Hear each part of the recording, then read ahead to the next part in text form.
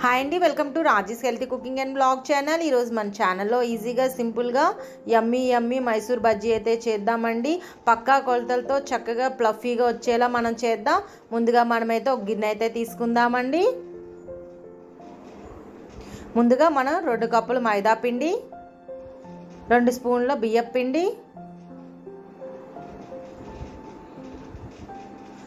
ఒక స్పూన్ ఉప్పు కొంచెం బేకింగ్ సోడా రెండు కప్పులు మజ్జిగ అండి. చక్కగా పుల్లటి మజ్జిగ అయితే ఇంకా బాగుంటుంది. కొంచెం కొంచెం మజ్జిగ పోసుకుంటూ మనం ఈ విధంగా చేతితో చక్కగా కలుపుకోవాలండి. ఒక్కసారిగా పోసేయకూడదు. కొంచెం కొంచెం పోసుకుంటూ మనం కలుపుకోవాలండి. మనకైతే రెండు కప్పులు మైదా పిండికి రెండు కప్పులు మజ్జిగ అయితే పట్టిందండి.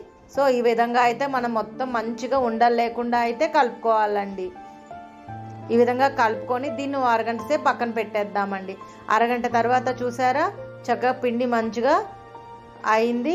ఇప్పుడు ఆయిల్ అయితే పెట్టేసాం కదా. మనం చిన్న టిప్ అండి. మనం బజ్జీకి కొంచెం తడి చేయకొని ఇలా మనం రౌండ్ చేసుకొని ఇలా వేస్తే మనకి రౌండ్గా వస్తుంది. చూసారా? ఈ విధంగా అయితే మనం చేసుకోవచ్చు. తడి చేసుకొని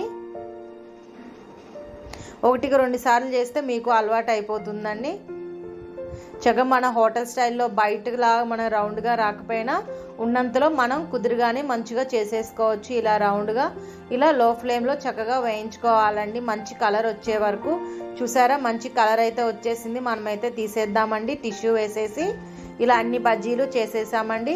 చూసారా? చక్కగా మంచిగా వచ్చినాయి బజ్జీలు అయితే ఫ్లఫీగా ఒకసారి ట్రై చేయండి. మీకు నచ్చితే ప్లీజ్ లైక్ చేయండి షేర్ చేయండి సబ్స్క్రైబ్ చేయండి కామెంట్ చేయండి. ప్లీజ్ ఎంకరేజ్ చేయండి.